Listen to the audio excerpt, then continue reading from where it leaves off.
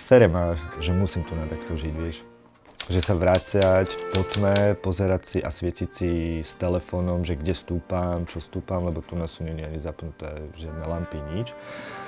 A jednoducho uh, opýtať sa hej, ľudí, že vlastne chcete takto žiť alebo nie, tak jasne všetci tu hovoria, že nie, ale stále im hovorím, aby niečo preto urobili.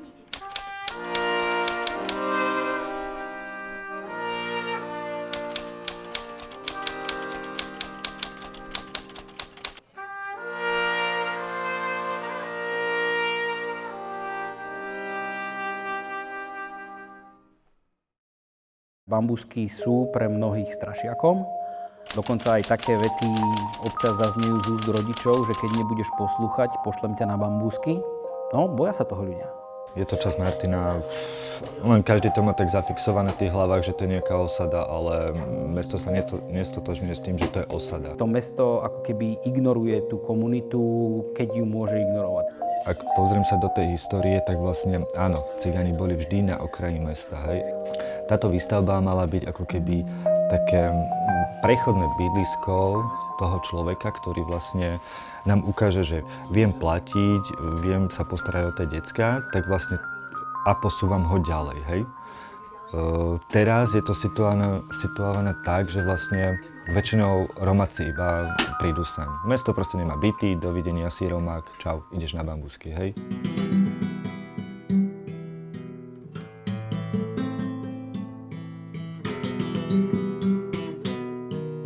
Bola by som ozaj rada, že máme šancu, že ísť odtiaľto fakt preč. Ako sme radi, hej, že máme kde bývať, že máme strechu nad hlavou. Aspoň toto, no ale ozaj odtiaľto len preč. Na tých bambuskách je hlavne problém, že my bieli sme vysťahovali neprispôsobivých občanov pri, hneď vedľa skládky verejného odpadu. Ja, ja, ja si stále to uvedomujem, že sú ľudia aj horšie na tom ako my ale jednoducho chcem ísť do väčšieho levelu a chcem, aby tie moje detská sa mali fajn.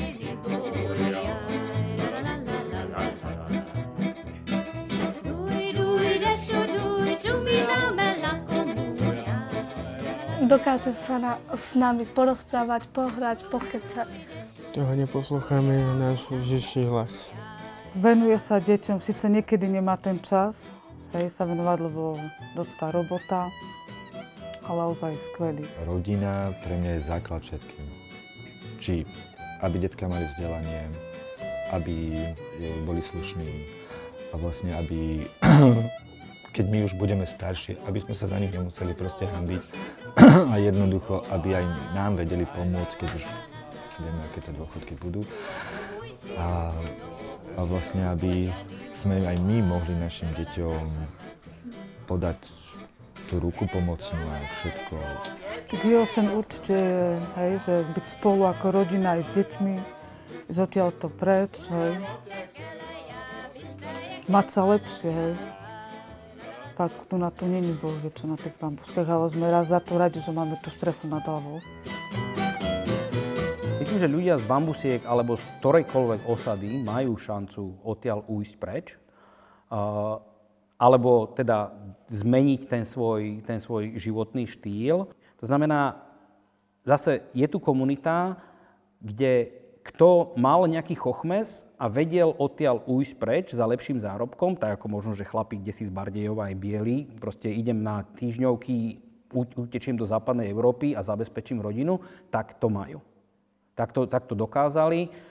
A tí, čo tu ostali, pravdu, ja som sa ich nepýtal, že prečo tu ostali, alebo že prečo neskúšajú robiť niečo iné, ale viem, že je tam zo pár chlapov, ktorí majú pravidelnú robotu a chcú mať. Sú tam aj ženy, ktoré robia tu na v upratovacích službách, robia stavbarinu. Takže a či rovno odídu z tej svojej komunity, na ktorú sú zvyknutí, neviem, či by aj chceli. Nehovorím o tej špine a o tom, že nechcem ja vyrastať v sračkách, alebo aby moje deti vyrastali v sračkách, ale keď raz toto je miesto, kde ja som doma, to je také zase, ako keby ste sa spýtali niekoho z tej hladovej doliny, z toho Gemera, že prečo sa odtiaľ neodsťahuje, prečo všetci nejdú bývať do Bratislavy.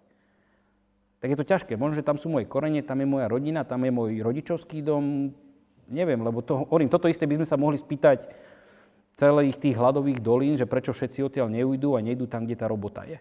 Keby som sa ich spýtal a povedal im, že no, nechcel by si zmenu, tak čo, ako spýtali by sa ma naspäť, že a akú? A čo? Hej, že presťahujem ho na sídlisko? A? Alebo že budeš chodiť do roboty, pôjdeš do fabriky. A myslím si, že by išli, že keby dostali možnosť ísť robiť v rámci toho svojho vzdelania, ktoré častokrát nemajú, tak asi aj áno. Chodím do práce, e, moja žena má vlastný príjem, ja mám svoj príjem, dávame to dohromady, platíme si všetky účty. Čiže chceme odtiaľ to vypadnúť, len e, ako?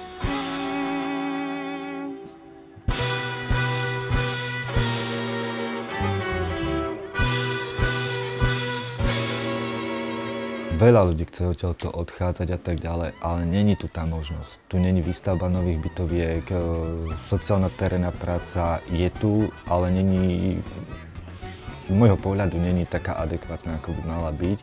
A, a vlastne tu sa mali vyseparovať tí ľudia, áno, na to majú, áno, sú slušní, nerobia bordel.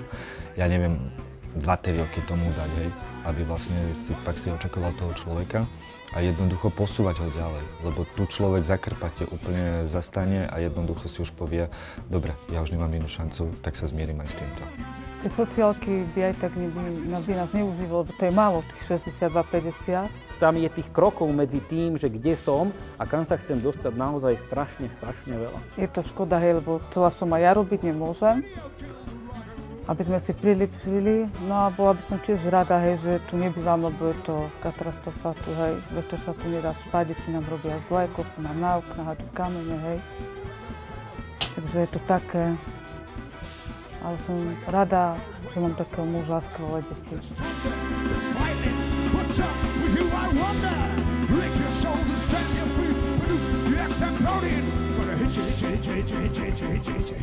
Myslím, že v žiadnom krátkodobom horizonte bambusky budúcnosť takú, že sa posunie tá situácia nejako zásadne dopredu, alebo tam, kam my by sme chceli, taká tam nie je. Ten dôvod je, že veľa generácií, v podstate od konca druhej svetovej vojny, zase Československá socialistická republika vymyslela v 51. zákon o zá, zákaze migrácie, teda e, kočovného života. To znamená, tí ľudia zručnosti, ktoré mali, veď môj starý otec e, rozprával, že vždy čakali na cigáňa, aby prišiel a prezul im koňa a poopravoval im hrnce. Toto my sme zakázali a tým pádom, ak oni mali nejaké zručnosti, tak tie zručnosti častokrát stratili. E, posunuli sme ich do sociálnych dávok, ktoré boli veľmi štedré v rámci socializmu a tým pádom dnes sú tu tri generácie, ktoré v živote nezažili nejakú tú pozitívnu motiváciu, prečo by si mal robiť, prečo by si mal byť integrovaný do spoločnosti, prečo by si s ňou mal komunikovať. Čo sme spravili je, že od, odsťahovali sme ich na východné Slovensko, odsťahovali sme ich za, za brány mesta a tým pádom takéto ne, akékoľvek systémové alebo, alebo zásadnejšie riešenie, myslím, že je beh na dlhé trate.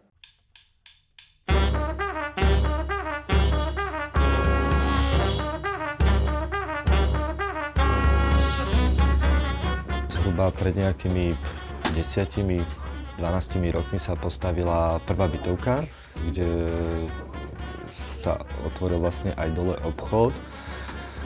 Tým, že to je vlastne ďalej od mesta. No a bývali dve rodiny hore. No a zhruba 8 alebo tak nejako 9 rokov už prišla nová bytovka, ktorá vlastne bola spolufinancovaná cez európske fondy a všetko možné. Na tej bytovke bolo fajn, že sa muselo podielať 30% Romákov. Hej, to, bol, to bol najlepší projekt možno a doteraz si ľudia vážia tie svoje byty a všetko okolo toho. To, to, aké majú okolo seba prostredie, to neriešim, hej, ale to, že vlastne tie byty sú zachovalé, hej. Keď sa pýta ľudí, ktorí majú Rómov susedov, takže čo ti na nich najviac vadí, tak najviac vadilo to, že majú odpadky v svojom okolí a druhé, čo najviac vadilo, že sú hluční.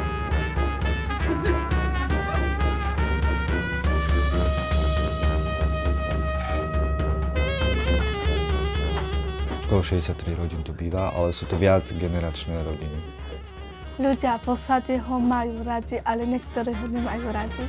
Myslím, že Janči Štrkáč je jeden z tých, ktorý, a teraz neviem prečo, nepýtal som sa ho na, na tú jeho story detailne, ale ktorý dokáže fungovať ako keby v obidvoch svetoch. To znamená, keď je na bambuskách, tak ho akceptujú jeho, jeho domáci a dokáže s nimi hrať tú hru a dokáže, keď sa dostane do bieleho sveta, tak robiť, hrať tú, hrať tú našu hru. To znamená, tam ten ich systém ho úplne nezmangloval, to znamená, neupadol do všetkých tých závislostí, a, ale popri tom tam funguje on a funguje tam jeho rodina. A myslím, že keby ste sa ho spýtali, tiež by nepovedal, že budúci týždeň sa ide, ide sťahovať, lebo tam má dlhodobé vzťahy, tam, má, tam, tam vyrastal s tými ľuďmi, má tam proste vše, celú tú sociálnu štruktúru on, on vystávanú. A ako si má v sebe ten dar, že dokáže fungovať aj tu a robiť tú robotu, ktorú robí.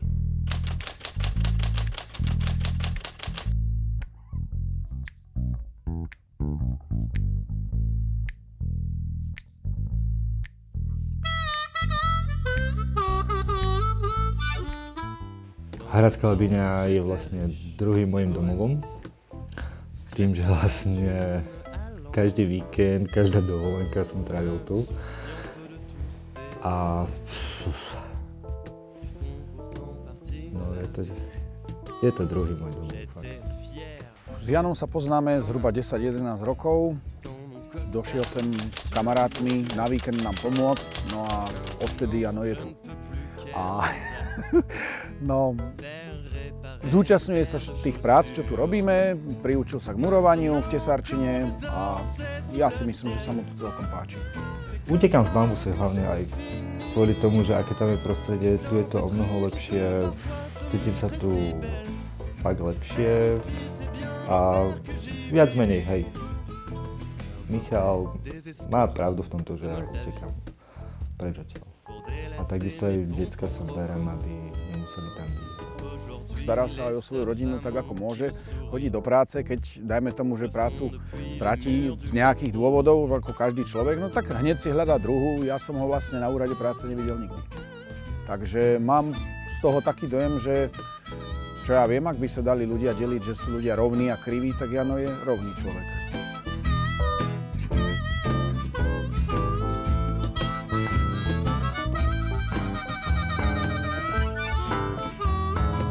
Tu je oddych hlavne, aj keď to človek niekedy namaká, ale tu oddych. Oddychnem si od tých mobilných aparátov, internetu, od všetkého, čo je okolo nášho sveta teraz.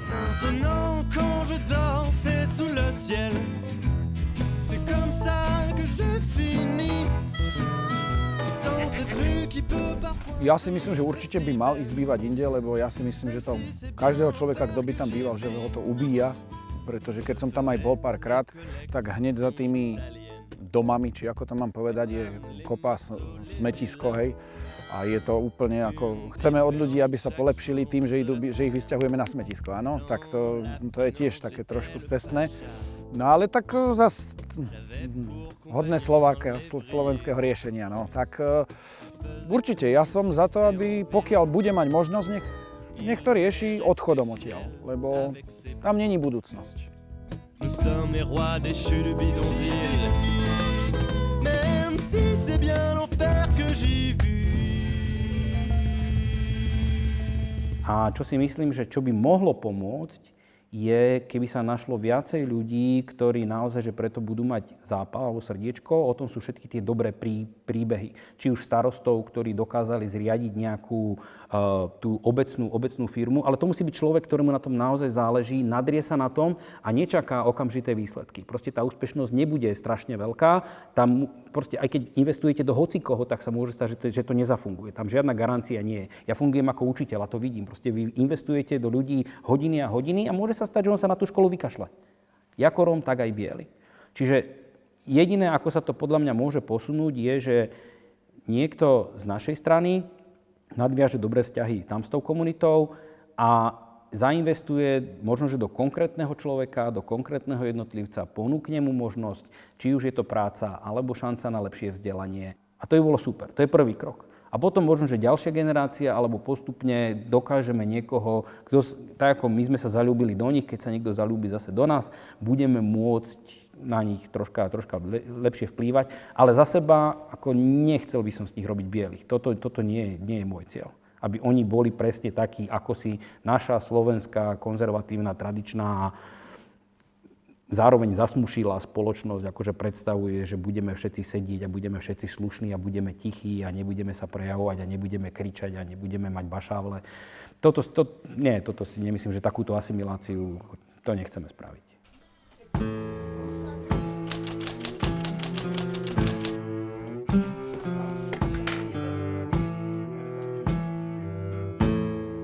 Tak keď vlastne pôjdem do tej Bratislavy, tak ja verím tomu, že tam stretnem super ľudí, naučím sa úplne niečo nové, otvorí mi to nejaký obzor a určite budem nasávať tie informácie. Ak e, tá Bratislava, že mi to vyjde a že sa mi to zapáči, tak ja len budem rád. Ja len budem proste rád. A ak, že by som ešte získal nejaké na to zamestnanie, som otvorený tejto myšlienke.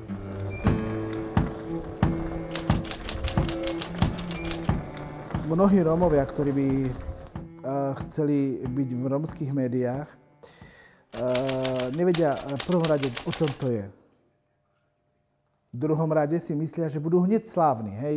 Hneď ma budú všetci milovať, zbožňovať ma. E, tam, áno, budem slávny, fotky, hen, áno, ja som niekto, vy ste nikto. Ale nikto tam nevidí tú prácu. A keď tú prácu od nich žiadate, padajú dole. Sú to v podstate lenivci, ktorých sa nechce pracovať na sebe. Keby ste sa spýtali, že či každý človek to môže robiť, tak nemôže. To je jedno, či to káže, lebo Rom proste... Človek buď vie analyticky nejako dať dokopy informácie a vyrobiť z nich správu, alebo to nevie. Naučiť sa to dá, ale aby ste sa niečo naučili, tak musíte chceť.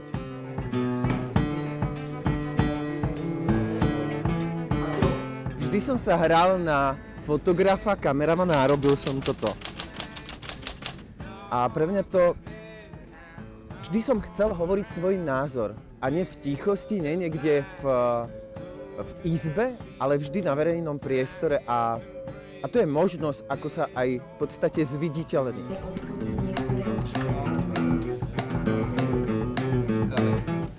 Tieto kurzy rozhodne pomôžu nielen uh, rómskym novinárom, ale všetkým novinárom by pomohli, pretože sú to základy, ktoré treba mať zmáknuté a myslím si, že školenia sú potrebné vždy a všade od renomovaných ľudí, ktorí to robia roky. Ja som produkt v podstate toho istého kurzu, čo robíme tu, tak ja som produkt vlastne. Ja som tiež prešiel takým kurzom v roku 2000 a to robila BBC v Prahe. A vtedy prišli chytrí Anglani, čo nás naučili robiť žurnalistiku a oni nás vlastne nenaučili vôbec nič, ale na, nahodili nás, ukázali nám smer. No a ja myslím, že je dobré, že my, čo sme vlastne sa dostali do nejakého média, tak môžeme naučiť druhých ľudí to, čo sme sa vlastne naučili my.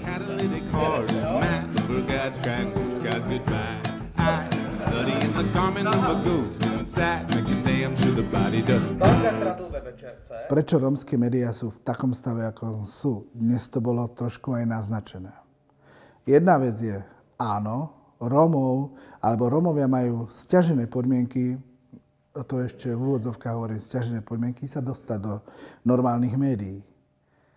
Druhá vec je, je tu niečo, čo ako si tak funguje, aj keď to je podfinancované, aj keď to vôbec nie je financované, a keď žijeme z výparov, ale keď ja žiadam od toho Róma, ktorý chce byť v médiách, chce písať, aj zodpovednosť, aby sa niečo naučil. Keď má napríklad problémy v gramatike. A doslova ho učím, jak malého chlapca, kde robí chyby. A on mne povie, že ja ho dusím a odíde mi. Je to chyba spoločnosti, chyba mňa ako človeka, ktorý sa snaží niečo vybudovať, alebo toho Rómaka, ktorý nechce na sebe pracovať.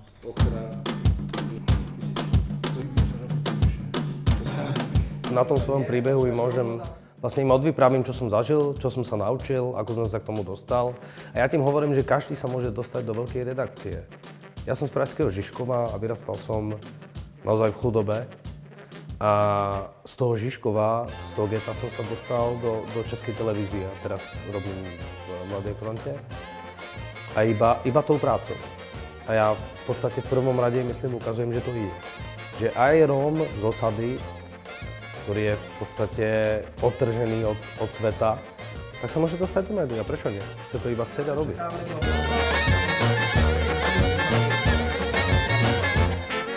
Mne toto školenie dá strašne veľa, lebo mnoho Romom, nie, e, mnohí Romáci nemajú priestor a ani tie, prepačte, ale médiá mnohokrát e, priestor nedajú tým Rómom, že jednoducho aby sa k tomu vyjadrili. A práve preto e, ja to môžem využiť tak, že keď nejaký, nejaký novinár niečo napíše, tak ja zbehnem do tej osady a nie je problém ja ako Rom nebudem mať taký problém ako um, novinár z Majority, že ten Rom sa bojí mu hoci čo povedať, lebo vie, že väčšinou povedia, e, dajú tam úplnú hlúposť a nedajú tú podstatu, ktorú čakal ten Rom, alebo tie dôležité informácie, že čo sa stalo, hej, prečo sa to stalo a to vystrihnú a dajú, že iba tak Romovia sa pobili a vyťahli sekery, ale to zvýšne tam nedajú.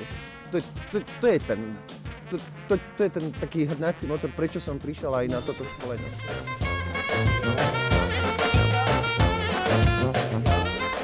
Čo robí Neromka v rómskom rádiu? No tak uh, Rómov mám od malička mnohých kamarátov.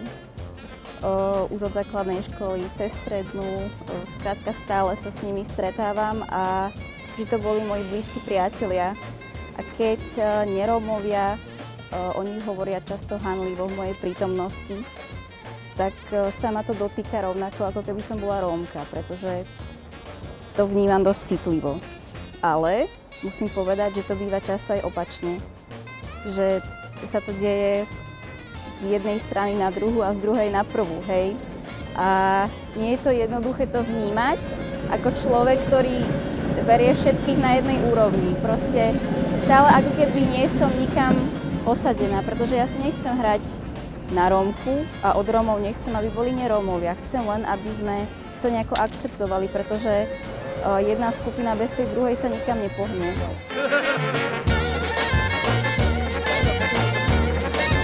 Začal som písať, e, písať o rasizme, o predsudkoch, o tom, že uh, nie je niečo v poriadku v tejto spoločnosti.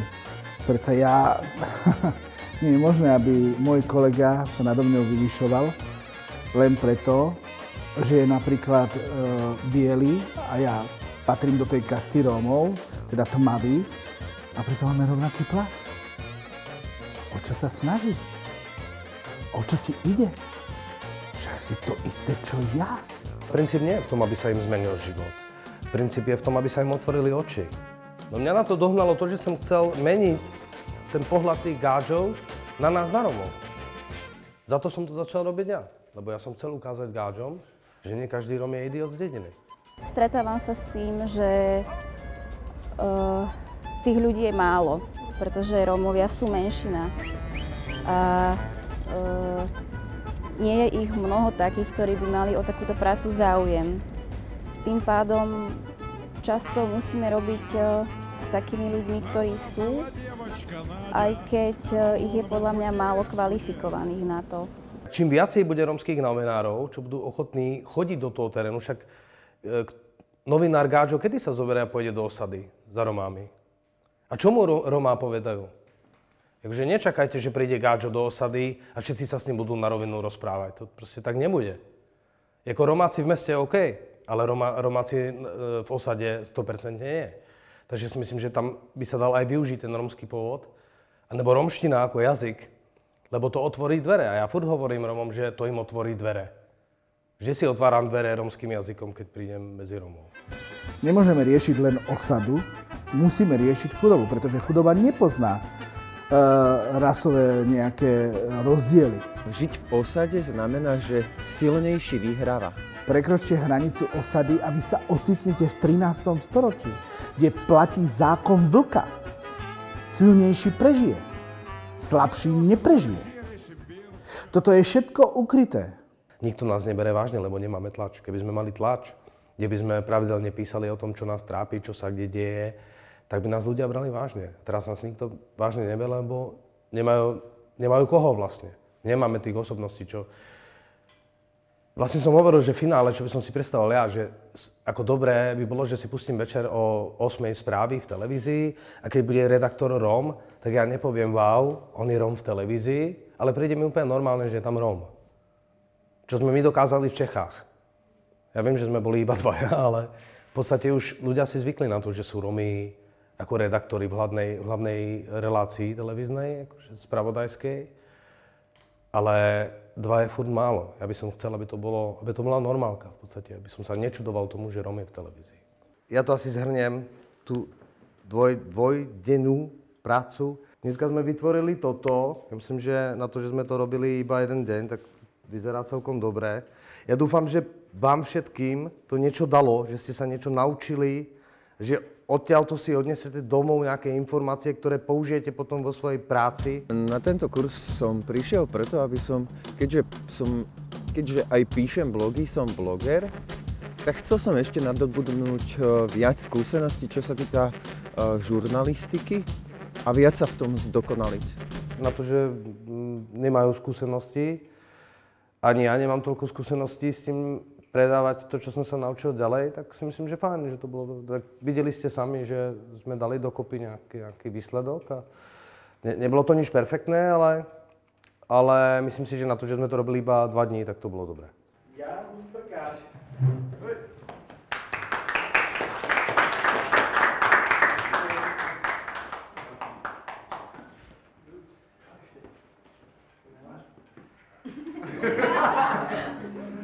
Bolo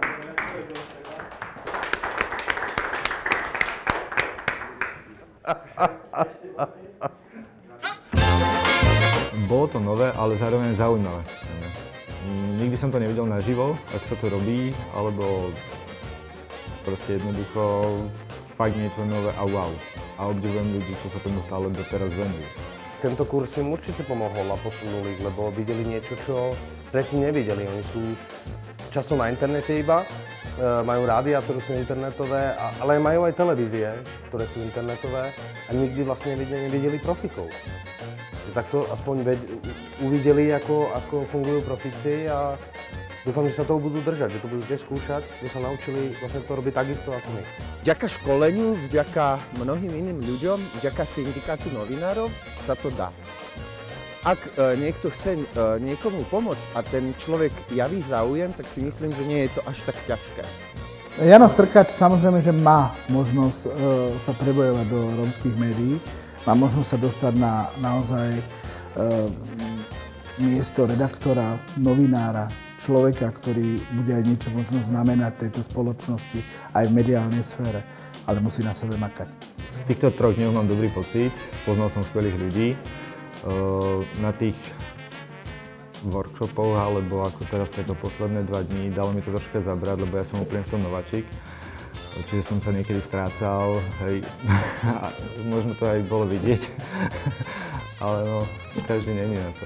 Jano je taká tichá voda, ale myslím si, že on, on ma počúval naozaj, že keď sme boli potom na obede, tak sa vypitoval aj na to technicky, ako, ako s kamerou pracovať. A on bol fakt jediný, kto sa pýtal na svetlo. Nikoho nezaujímalo svetlo a on sa pýtal na svetlo, lebo som im tu vysvetloval, čo je kontra, na čo si majú dávať pozor. A bol jediný, kto prišiel potom a dopytoval sa ma na to, takže ja si myslím, že šancu má to tu otvorilo oči ako mne. Nevedel som zo začiatku, či to bude môj cieľ, toto vlastne robiť. Ja som vlastne sem bol hm, prizvatý, že mám si to vlastne pozrieť, o čom to je a tak ďalej a rozhodnúť sa. A chytilo ma to. Fakt ma to chytilo.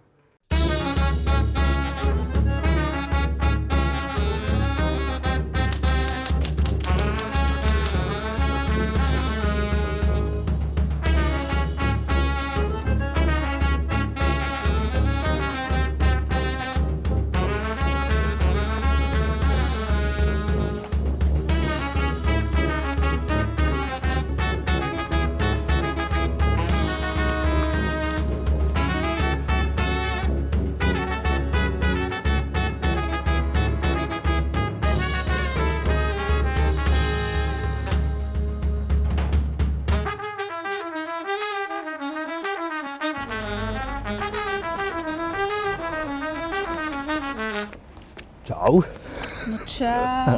Ako? Dobre. Si Kde ready? ideme? Čo ideme? No však ideme na ten židovský cintorín. Daj mi viac o to povedz. O, no pripomenutie si holokaustu. Aj rómskeho pribudli tam dve nové rómske mená. Dvaja ľudia, ktorí padli počas holokaustu a príde aj prezident. Wow. Čiže porobíme Super. nejaké rozhovory, pofotíme. Uh, bolo by dobre, keby sa nám podarí aj rozhovor s prezidentom, ale uvidíme. A potom, keď budeš robiť tie rozhovory, tak sa snaž, aby to bolo také stručnejšie, pretože je možné, že uh, toho času bude málo a aby sme stihli čo najviac ľudí. A samozrejme fotky. Hej, Dobre. si ready? No prvá reportáž, tak... A dám to, To dám. dáš, hej. No l'envers ne sont pas des bancs de poissons rouges, bien qu'ils en aient la couleur et l'air. Derrière leur plan, leur petit drapeau, les yeux apeurés, ils craignent pour leur peau. Sont rassurés lorsqu'ils sortent vainqueurs, qu'ils ont enfin trouvé le sacré cœur dans les couloirs. Sous l'océan de la capitale, suis-je un poisson clown ou bien un squale je me sens comme un requin dans l'eau, dans les couloirs du métro.